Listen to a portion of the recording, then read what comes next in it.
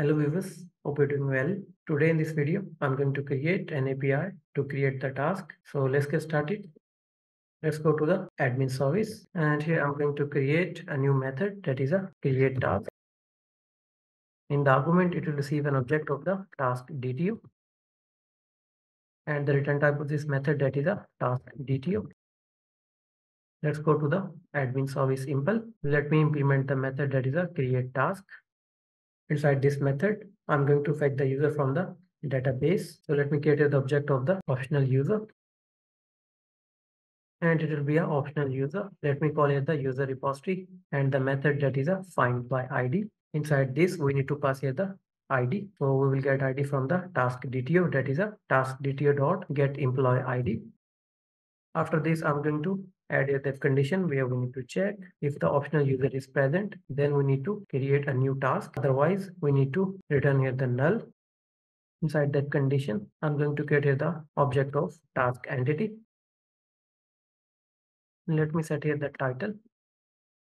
We will get title from the task DTO dot get title.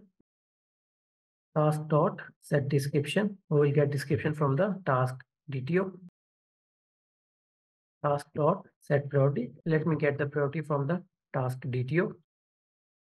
After that, I'm going to set here the due date. We will get due date from the task DTO. Let me set here the task status and it will be a task status dot in progress task dot set user. So it will be an optional user dot get after that, I'm going to call a method from the task repository that is a save to create the new task in the DB. So on the top, I'm going to inject here the task repository. So it will be a private final task repository. And it will be a task repository dot save. Inside the argument, we need to pass here the object that is a task. And we need to call a method from the task entity that is a get task DTO. And it will be a return. Let's go to admin controller and here I'm going to create a method to call the method from the admin service. So let me add here the response entity and it will be a task DTO. And name of the method that is a create task. Inside the argument, I'm going to add here the notation that is at the rate request body to get the request payload from the endpoint. So it will be object of the task DTO.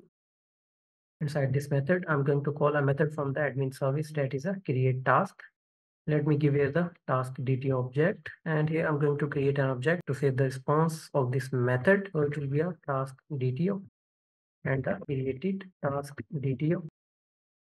I'm going to add here this condition where we need to check if the created task DTO is equal is equals to null.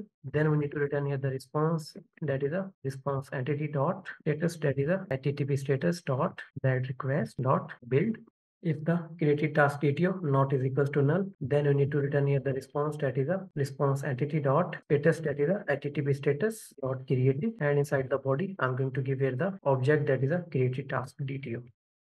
On the top, I'm going to add a notation that is at the rate post mapping to access this endpoint and the URL of this endpoint that is a slash task. Let's run the Spring Boot application.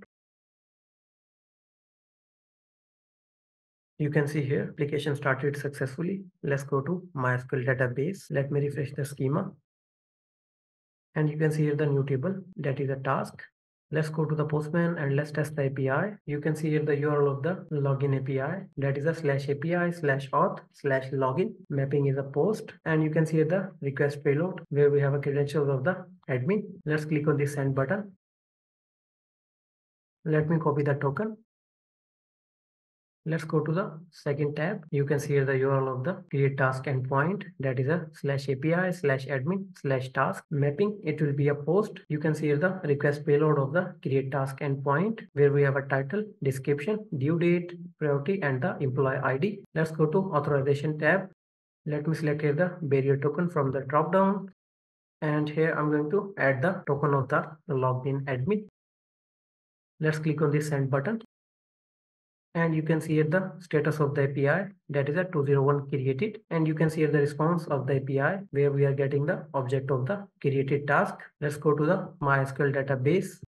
Let me refresh the task table and you can see here the newly created task. So that's all for now from my side. If you have any confusion, you can do comment. Thanks for watching. Take care. Bye.